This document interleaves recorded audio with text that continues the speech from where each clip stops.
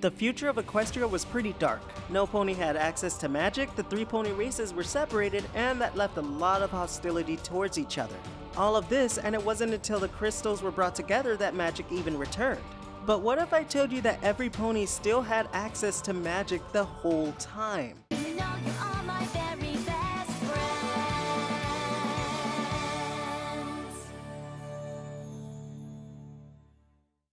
So I know that this is a pretty bold claim to make, especially since no pony can even use magic in the future. But I think they've all been using magic the entire time. So what do they still have that ponies in the past had?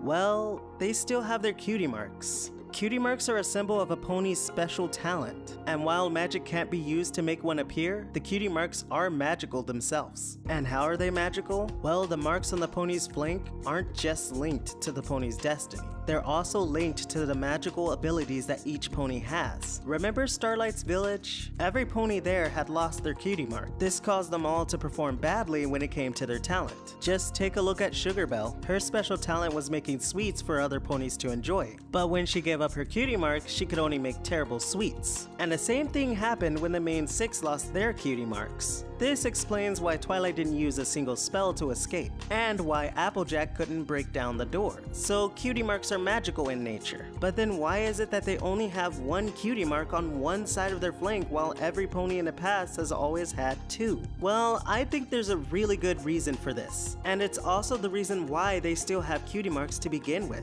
So who do we know that has the ability and the magic to affect all of Equestria at once? And who do we know that has the magical power to open up holes to other dimensions? That's right, Discord. Discord is the only being we know of that has the magical power to affect all of Equestria at once. But I thought Discord was reformed. After everything he did with Tirek and the other villains, why would he do anything that could affect his standing with his friends? Well, I think he did it because of his friends. Imagine if something had happened to Twilight that would leave all of Equestria without its ruler. And sure, Cadance of Flurryheart could step in, but they have their own kingdom to handle. And what happens when a ruler leaves their kingdom? The kingdom falls apart. And we've already seen how fragile the peace between the different pony races actually are. I mean, Tirek, Chrysalis, and Cozy Glow were all able to turn the different pony races against each other easily. So without Twilight there to govern the masses, tensions would slowly start to rise. And seeing this, Discord would do what he does best. He would teach them all a lesson about friendship. And with Discord being Discord, he would do it in a chaotic way and end up taking away the magic from Equestria leaving just enough for them to get by. And this would create a rift between the pony races where they not only blame each other for magic disappearing,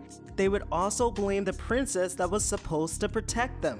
Twilight. And this explains why no pony knew about Twilight Sparkle in the future. There would be no need for any pony to know about her because she would be seen as a traitor for abandoning them. And for each pony to only have a limited amount of magic, that means that they would only have one cutie mark, enough to show that magic still exists. And finally, Discord would finish the lesson by storing the magic into three crystals for each tribe to use. And once all of the tribes truly came together in friendship, then the magic of the crystals would be released and restore magic to all of Equestria. And that's why I think every pony still had magic to begin with, just not in the usual way that you'd expect. Anyway, I really adore this kind of theory, especially since it explains why Discord is so absent in the future. But it leaves one question unanswered. What happened to Twilight Sparkle? Well, I'm gonna leave that for you to answer. So let me know your thoughts on it in the comments. And I have an announcement. I really like making these kinds of videos for you all.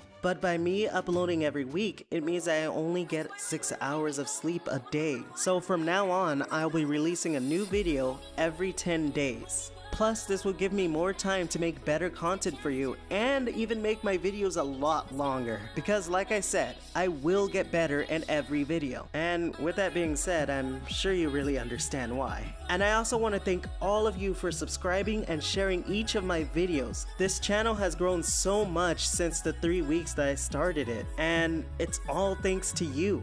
So thank you. Before I go, don't forget to like, subscribe, and share this video as well. And you can always follow me on my tweeting Twitter. And this is Wind Striker signing off. Until 10 days from now, hoof to heart.